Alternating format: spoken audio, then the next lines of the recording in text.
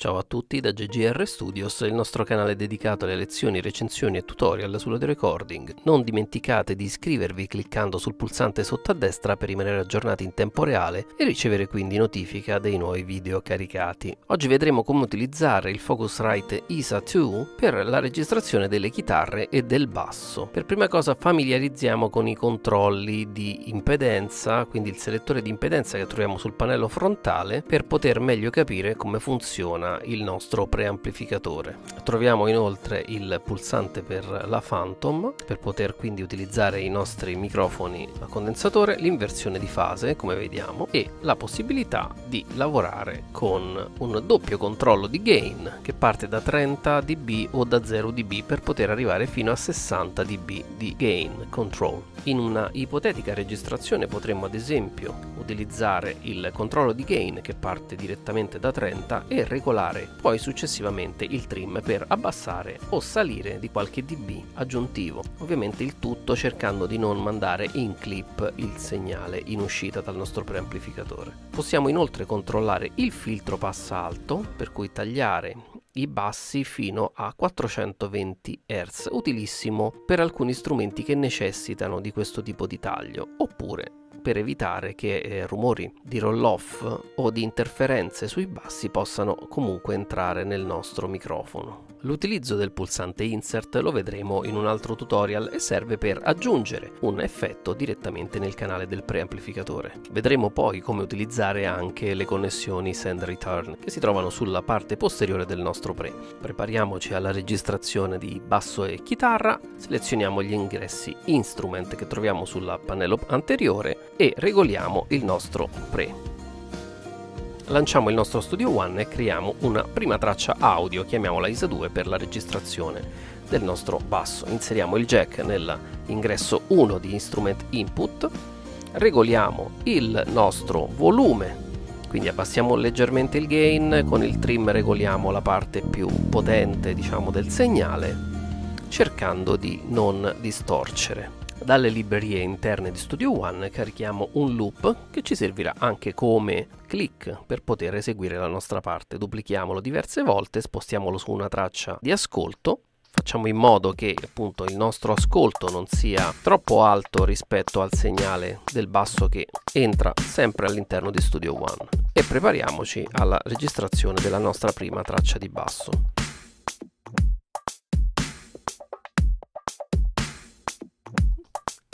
Regoliamo il volume del preamplificatore e iniziamo la registrazione.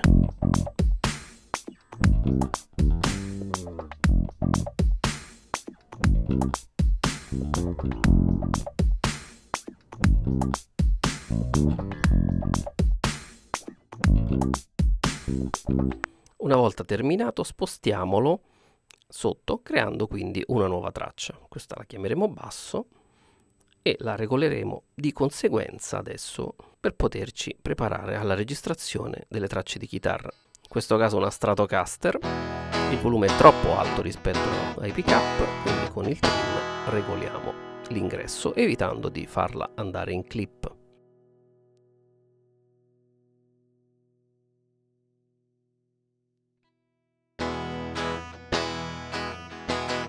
iniziamo la registrazione. Controlliamo anche che le note singole abbiano un volume adeguato, apriamo il nostro guitar rig con un simulatore di amplificazione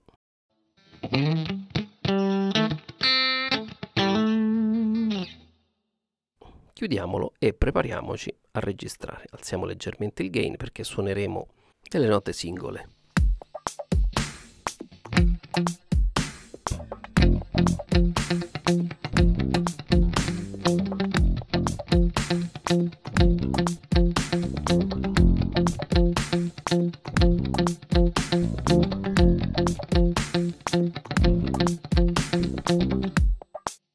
Spostiamo questa traccia su una nuova traccia e facciamone una seconda.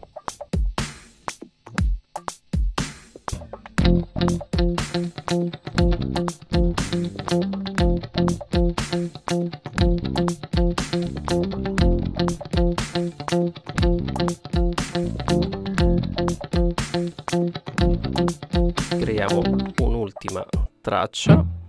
Spostiamoci ed utilizziamo ora il Les Paul. Come notiamo il suono è ovviamente più grasso. Abbassiamo un po' il gain.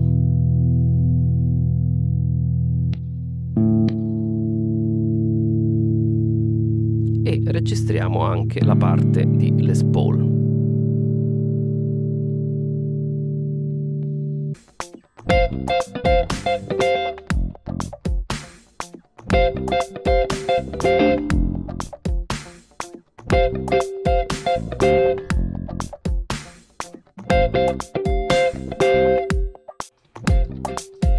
Spostiamoci su un'altra traccia e proviamo a missare il nostro risultato. Applichiamo un simulatore di basso al nostro basso, in questo caso Amplitude.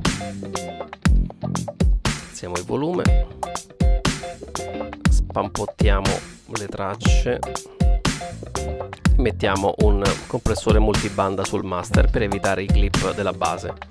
Dando un'occhiata al nostro preamplificatore possiamo notare che avendo i due ingressi potremmo ad esempio in una situazione live utilizzare l'ingresso 1 per la Stratocaster e l'ingresso 2 per il Les Paul mantenendo i due canali separati con due settaggi separati. Utilissimo appunto quando ci si trova live e non dobbiamo necessariamente cambiare il setup della chitarra quando cambiamo chitarra. Spero che questa lezione vi sia stata utile, vi aspetto ai miei seminari, al corso professionale presso il mio studio e nei corsi online dove gli argomenti verranno affrontati in maniera semplice ed accurata. Verrete a contatto con le mie tracce, affronteremo i vostri mix insieme e li finalizzeremo nella fase di mastering. Continuate a seguirmi su Facebook, YouTube e Music Off. Non dimenticate di iscrivervi lasciando poi i vostri commenti sotto. Ciao, a presto!